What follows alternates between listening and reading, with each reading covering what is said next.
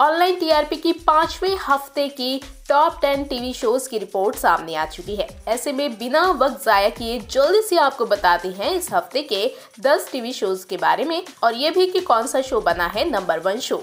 हमेशा की तरह शुरुआत करेंगे नंबर 10 के पायदान पर आए शो से। तो नंबर 10 की पोजीशन अपने नाम की है। कलर्स टीवी के शो धर्म पत्नी ने विद 34 रेटिंग पॉइंट्स। नौवा पायदान अपने नाम किया है जी टीवी के पॉपुलर शो कुंडली भाग्य ने 35 रेटिंग पॉइंट्स के साथ। तो वहीं इस हफ़्ते नंबर आठ की पोजीशन पर है कलर्स टीवी का पॉपुलर शो नागिन सिक्स इस हफ़्ते नागिन सिक्स ने हासिल किए हैं 37 रेटिंग पॉइंट्स तो वहीं सातवां पायदान अपने नाम किया है कपिल शर्मा के comedy show Kapil Sharma show ने विद 38 रेटिंग पॉइंट्स नंबर छह के पायदान पर है सब टीवी का पॉपुलर कॉमेडी शो, जो पिछले कई सालों से खूब धमाल मचा रहा है। जी हाँ तारक मेहता का उल्टा चश्मा। इस हफ़्ते शो को मिले हैं 40 रेटिंग पॉइंट्स। अब बात करते हैं उन टीवी शोज़ की, जिन्होंने बनाई है टॉप फाइव की लिस्ट में जगह। तो पांचवा पायदान अपने नाम किया है सोनी टीवी के शो कथा अनकही ने।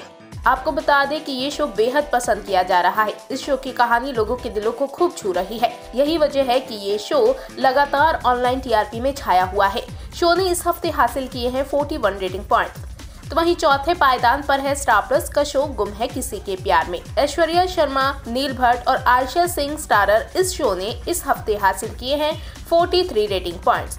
तो वहीं नंबर तीन पर है राजेश शाही का पॉपुलर शो, ये Rishta Kya Kehlata Hai? With 44 rating point. तो वहीं अनुपमा, जो कि स्टार प्लस का नंबर वन शो है, इस हफ़्ते है दूसरे पायदान पर 46 रेटिंग पॉइंट्स के साथ। बात की जाए नंबर वन पर आए शो की तो इस पोजीशन पर है कलर्स टीवी का कंट्रोवर्शियल शो बिग बॉस 16 विल शो अपने फिनाले की तरफ़ बढ़ रहा है और इस वजह से शो को लेकर बेहद तगड़ा बस देखा जा रहा है।